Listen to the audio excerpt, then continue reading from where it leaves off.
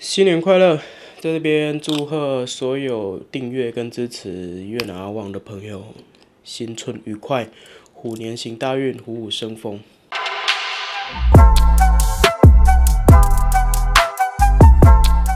再说起过年，越南也过农历新年。新年你只会说祝门那么吗？那今天跟各位分享一些，你可以换一句话来跟你的越南朋友。道个贺，不过首先有一个概念，就是说，呃，越南人就是被法国殖民过嘛，那所以说，阳历的新年对他们来讲比较像是过年，所以在那个时候讲祝福的梅是比较合适的。农历新年呢，对越南人来说是一个非常重要的节日，但它在定义上其实比较不像是新年。我们会说是元旦，也就是 Tết Nguyên đán。没错，越南的元旦是放在农历初一，而不像是台湾，哦是放在阳历的一月一号。也因为这样子，所以越南人在过农历新年，也就是春节的时候，比较少，不是完全没有，那就比较少会用祝福那么，哦就是新年快乐这个祝贺词。相对的。我们会比较常说“登孙 vui vẻ”，也就是新春愉快，这样子会比较应景。越南的十二生肖呢是使用地支来称呼的，所以呃越南的年份呢也会使用天干地支来搭配称呼。今年是壬寅年，呃壬寅的越南语叫做 nhâm dần，越南人会比台湾人更频繁的使用 nhâm dần 这个词，所以你在祝贺词里面。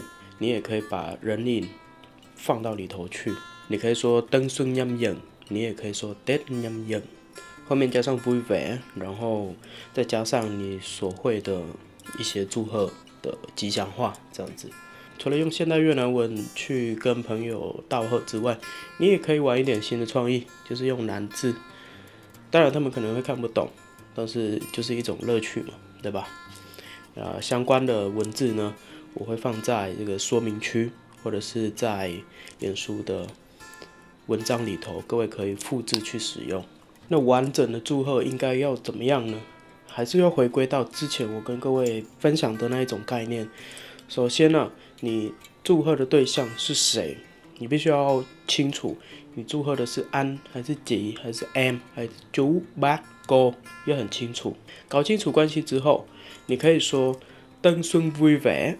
然后加上对方的称呼，结尾呢，你可以加上一句“年”。例如说，你要祝贺一位姐姐新春愉快，你可以跟她说“登春 vui vẻ”，几年？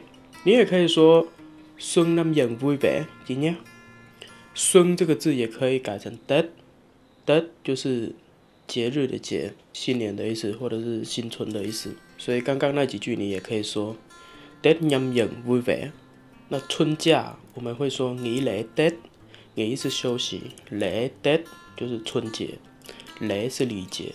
那很久以前我有分享过圣诞节，呃，通常是有一定的一个仪式或活动的一个节日，我们就会用来这个词。那 dead 呢，正常来讲是指春节，但是它也可以指别的节日，例如圣诞节，dead Noel。其他当然还有万年的吉祥用词哦，在这边大部分呢越南会习惯用汉词下来祝贺，例如说呃万事如意、安康腾鹏这一类的，我会整理在荧幕上面，然后我也会把它放在说明区里面，各位如果有需要的话，呃欢迎就是取用，好吗？我平常是没有提供无偿的翻译服务了哈，但是今年呃新年特例。不管你是在 YouTube 或者是 Facebook 上面看到这部影片，呃，你想要讲稍微长一点点的一句呃吉祥话，但是你不知道要怎么翻，或者是你希望我帮你校正的，你可以给我留言，那我会尽可能的去呃帮你检视，然后在你的下方回复。但如果太长的，我可能就不理你了。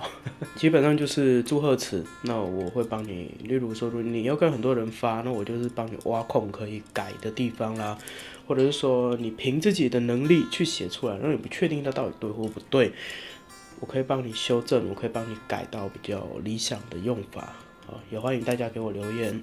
啊，因为时间关系，这部影片我拍的非常的匆促，所以有很多的东西可能我在影片里面没有办法一次讲完，那我会在文章里面再去补充它。那在这边也是再一次的跟大家拜个年，啊，祝大家，呃。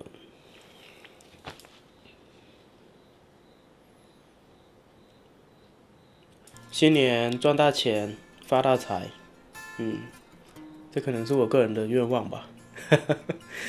好了，我们下部影片再见了，拜拜。